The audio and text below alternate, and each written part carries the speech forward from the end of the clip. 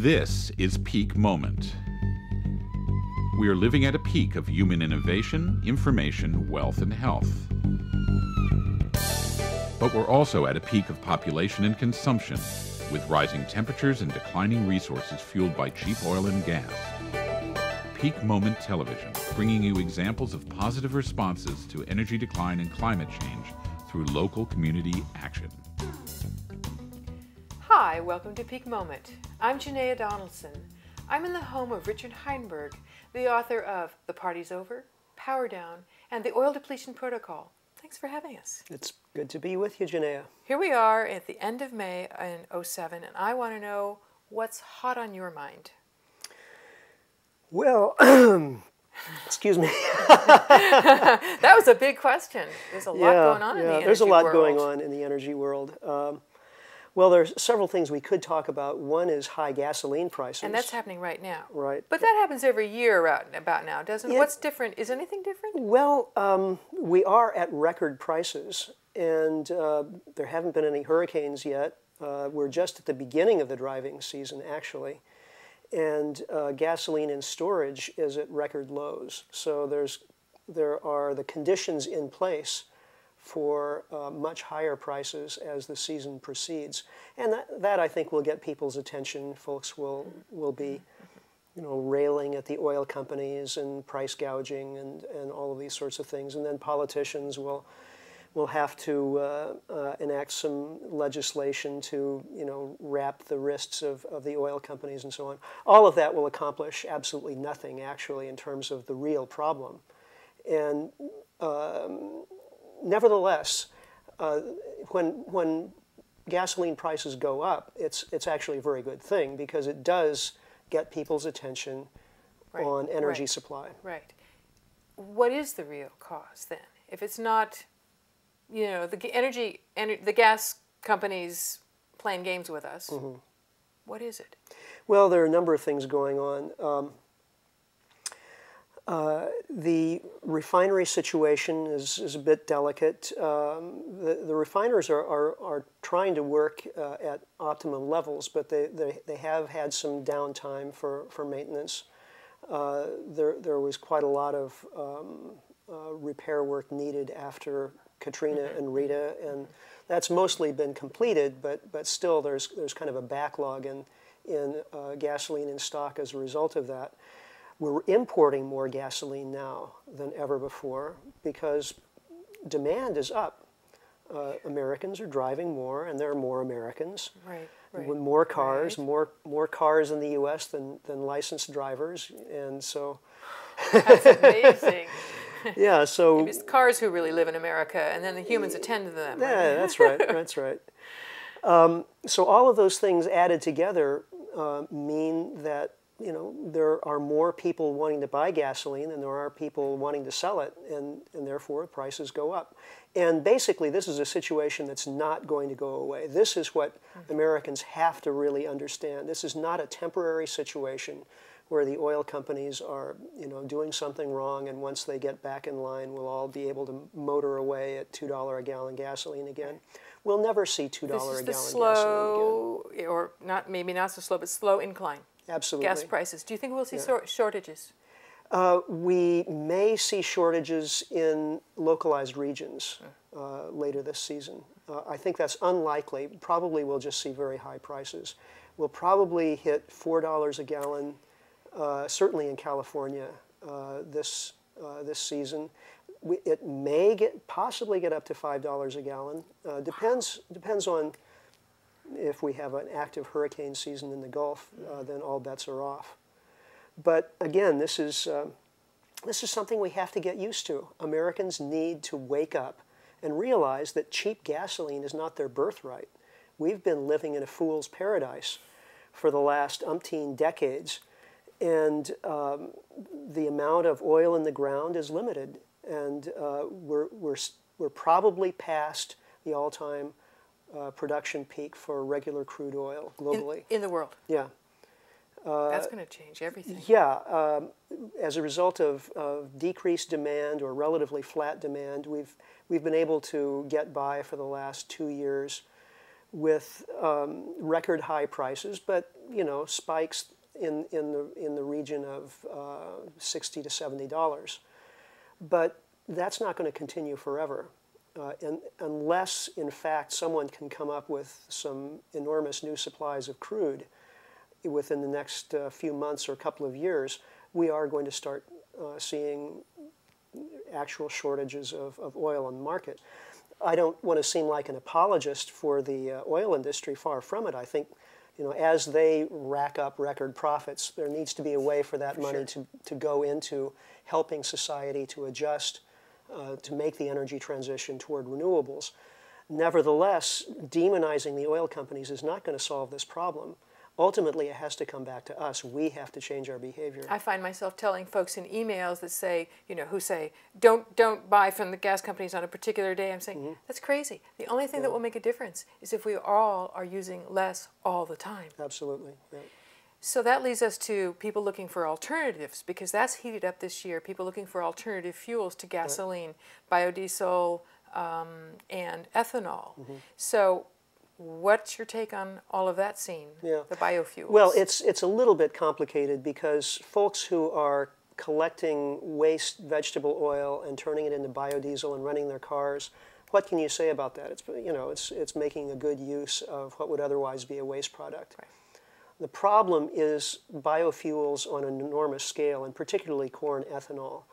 Um, it's just a huge boondoggle for the, um, uh, the big uh, agribusiness companies like Archer Daniels Midland and, and others. Uh, the uh. folks in the Midwest, in the corn states, understand that this is a boom and bust cycle, that there's going to be a huge amount of money thrown their way, and all kinds of ethanol plants will be built, and farmers will grow an awful lot of corn.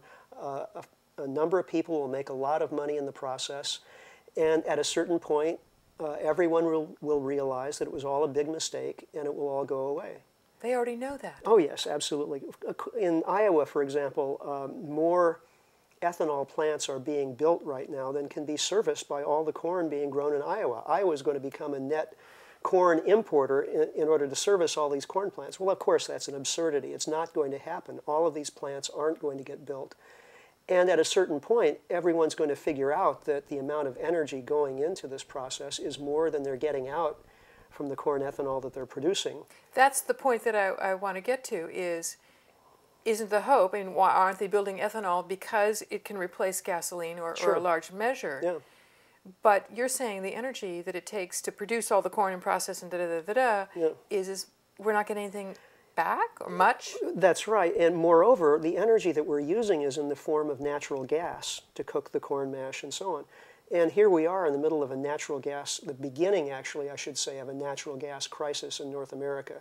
Natural gas production has been declining gradually for the last few years, and it's about to head into a, a kind of tailspin, terminal tailspin. We're not hearing about that one. No, of course we aren't. Well, we, we were uh, three or four years ago, and then what happened was that natural gas prices went up sufficiently so as to uh, cause the big industrial users of natural gas just to jump ship and move overseas to where natural gas is cheaper. Uh -huh. So about 100 chemicals plants closed, about 100,000 jobs were lost in the chemicals industry. Dow Chemical is moving all of its operations overseas to where, again, where natural gas is cheaper. Um, the, about half of the American fertilizer industry is gone because they use natural gas as a feedstock. And so temporarily the problem's solved, but at what expense? But the, the, the problem doesn't really go away. Okay. As, as the, the production continues to decline, then, well, where does demand destruction hit next? And certainly the ethanol industry is going to be affected by higher natural gas oh, prices. sure. Yeah. So that's where you're going to say at some at that point we're going to say we're not getting anything out of this. I that's mean, right. we're not, not, a net return. Yeah, we'd be much better off using that natural gas directly as as a fuel because it's the highest quality fuel we have. And cleaner. And clean and so on. But unfortunately, it it's it's limited in quantity. It's a it's a non-renewable resource, and we are running out. Well, there's always the hope I think people have that coal. We've got a lot of coal in Cali- in America, that we can can we just um, then move to some way of using our coal as our energy source for electricity or to replace our gasoline. Mm-hmm. So, you've written recently on that. Yeah, I've written a couple of articles recently on. Um, two recent European studies on global coal supply.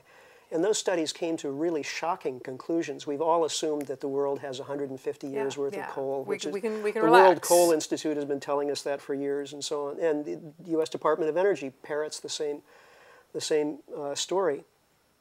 But the uh, uh, well, the first study that came out was from the Energy Watch Group in Germany, which reports to the German Parliament. And what they did was they looked at the latest uh, reserves reports for coal from individual nations. Now, many nations have not updated their coal reserves figures for decades, and the ones that have have updated them downward, and in some cases dramatically so. Some countries have revised their coal reserves up to 90% lower Wow, that's uh, dramatic. Right.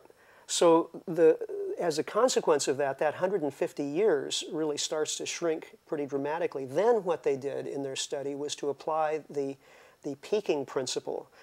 Uh, Often, when we talk about uh, s- supplies, we just say, well, uh, we, we talk about reserves to production ratios. In other words, if we continue using the resource at current rates, how long will it last? But of course, that's absurd. That's not how it happens. That's not how it happens. What always happens is the rate of extraction increases as demand increases, and then there comes a point when it becomes impossible to continue to increase the rate of extraction. It peaks and then declines.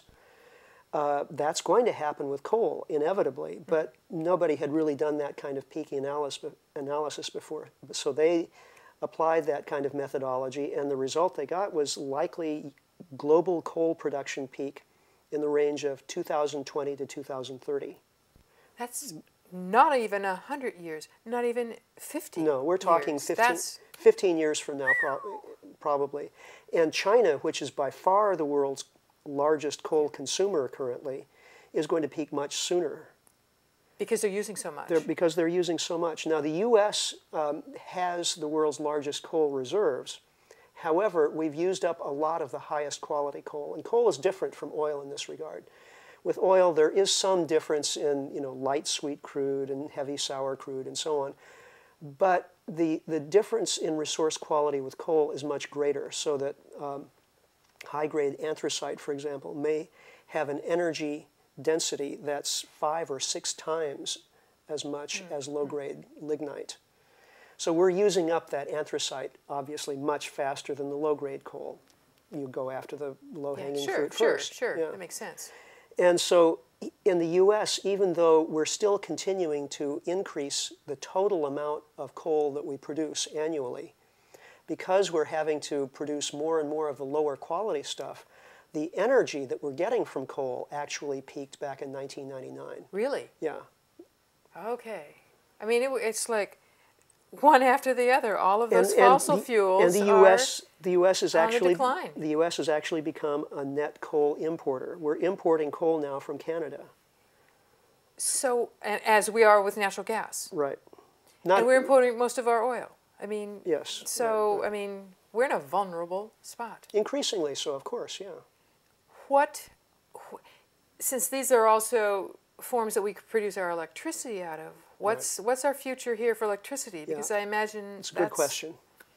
Yeah, um, the peak oil discussion has been mostly about liquid fuels, and we've been describing it as a liquid fuels crisis.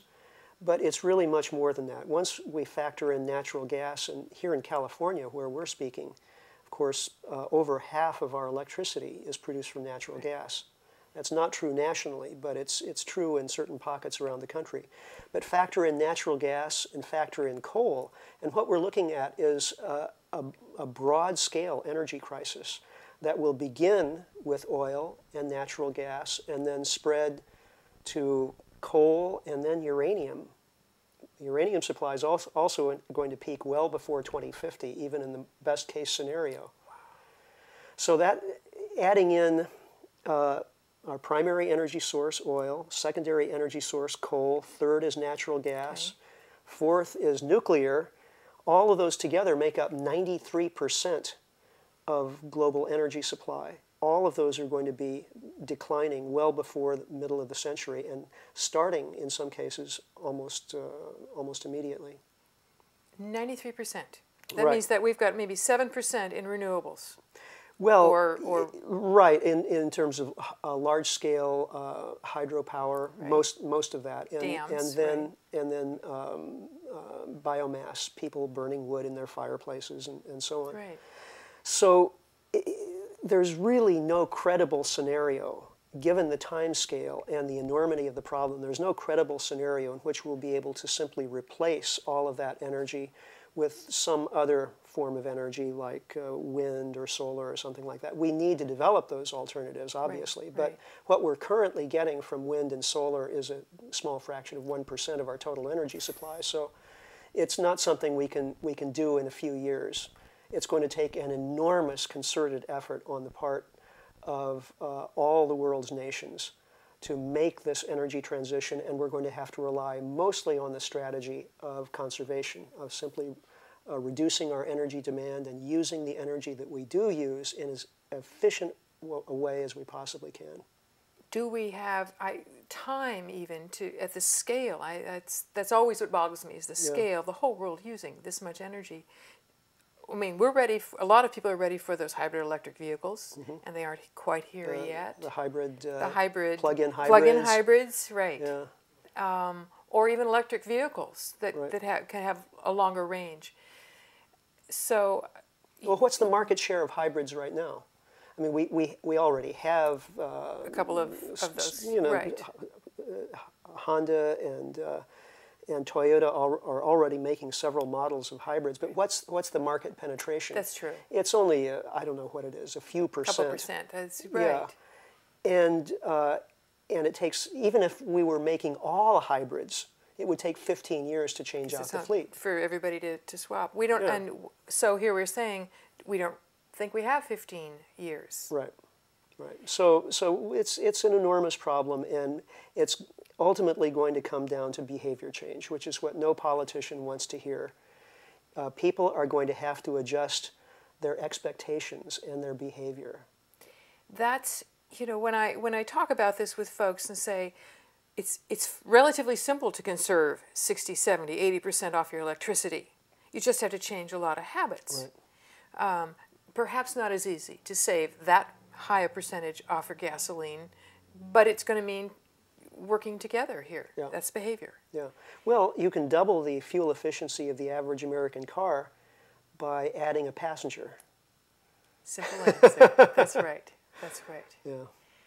But that that kind of collective uh, change in our attitude, what you what I would expect here is that's the big change that has to happen. Right. Is in our attitude. Yeah. The- Prices will help with that. Yes. But it's not going to be enough, and it's not going to happen fast enough in order to uh, enable this, this process to, to occur without enormous economic and, and social and political pain.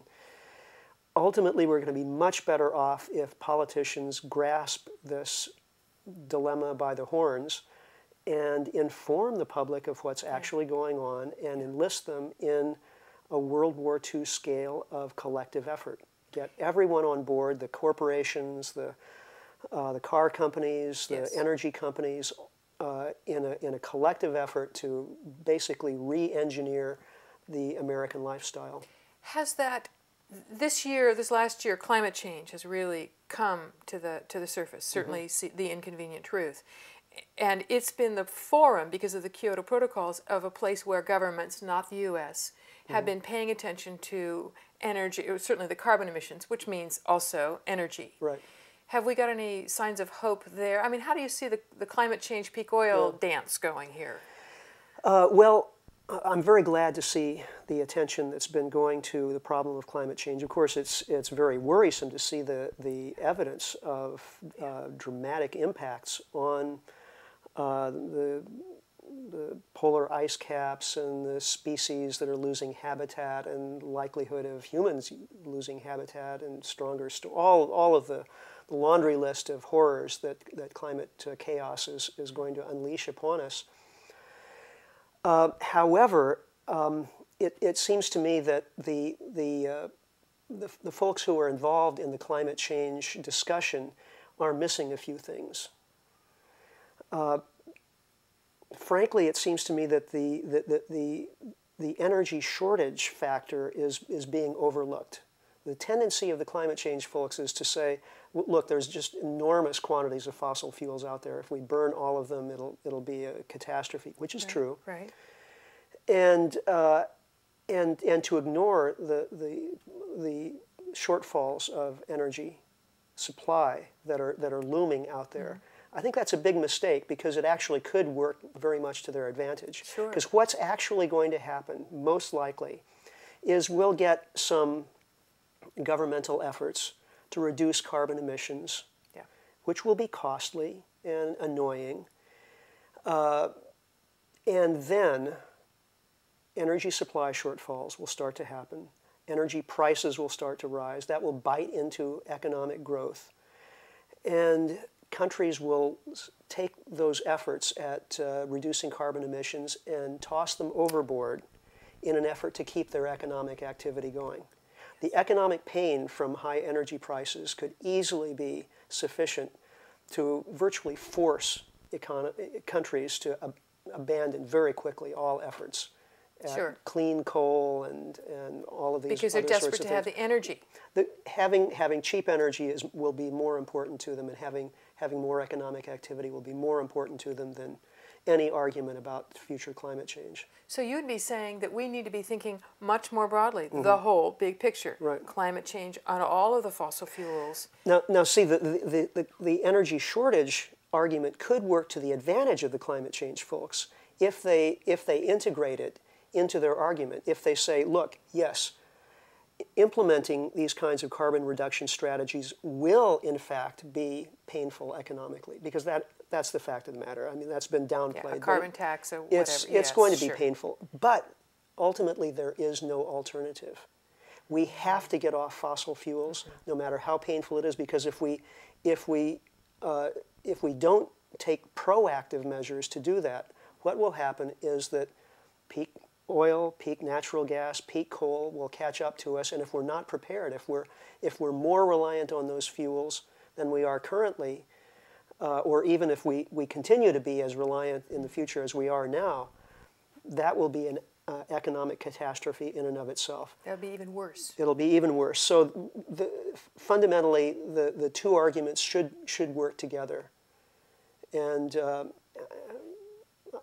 I think it's really a, a shame that, uh, unfortunately, the, the, the, sort of the peak oil message has been kind of crowded out of the discussion over the last few months. I think that's going to change as time goes on because as, as we start to see the higher prices and the supply shortfalls, then mm, people's attention will, will go back in that direction.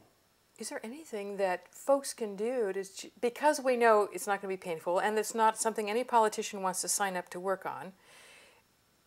You know, are we just sort of helplessly sitting here bystanding, you know, waiting for them to move? What mm-hmm. can folks do in any way? I mean, certainly prepare themselves, but pressure Washington, or are we oh, just absolutely. waiting until somebody sort of starts to see the light? Yeah, in we, addition to Roscoe Bartlett. Right, right. We have to pressure government at every level, not just Washington. Obviously, there's a lot that needs to happen at Washington, and there, there are some efforts that can only happen at the national level. For example, if we're going to have a rational uh, rationing scheme, which we, we need, we, yeah. uh, as, as the prices go up, uh, we, are going to have to ration gasoline and, and heating oil and all of these, these other things.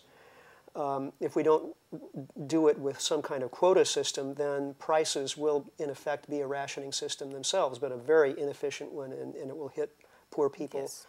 uh, very badly. Uh, so those th kinds of things can only be done at the national level, but there's a great deal that can be done at the state and local level, and we're seeing more and more of those efforts.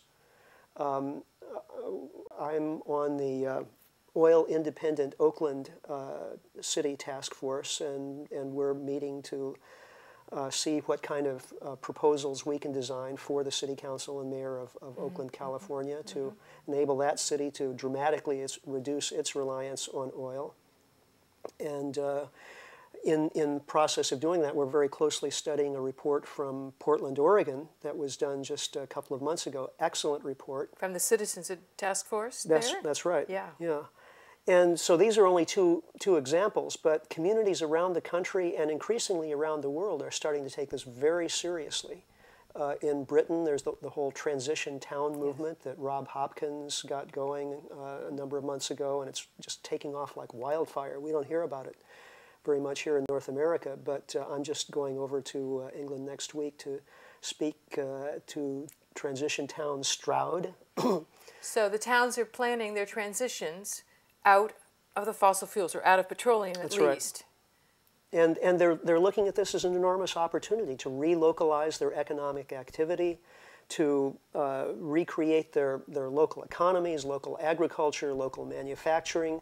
They're, they're, they're looking at it as uh, almost a, a, a, party. You know, I mean, this is the, the party's over. Well, in some cases, it's yeah, a new party. It's, it's a, new, new party, party. different the kind of party. that we just got back from a, a relocalization um, networking group here in, in Northern California, and a lot of communities are jumping on to, you know, eat local, buy local, think local, and there's this uh, invigoration. Local music, local yes. arts, yes. Uh, and, and, people love local that. food. Yeah, I mean, the local exactly. food movement is getting very strong Yeah. because people are enjoying that.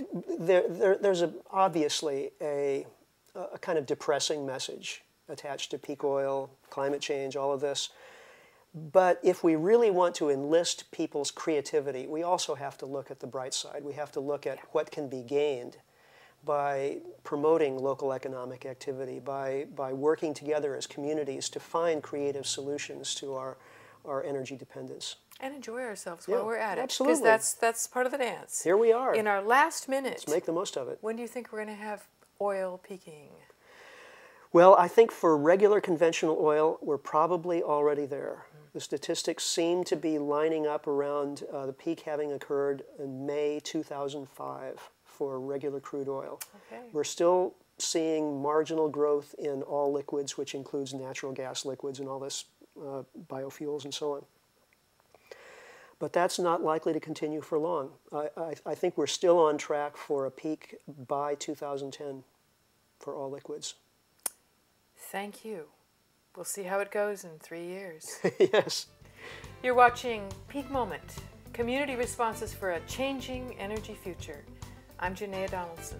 Join us next time.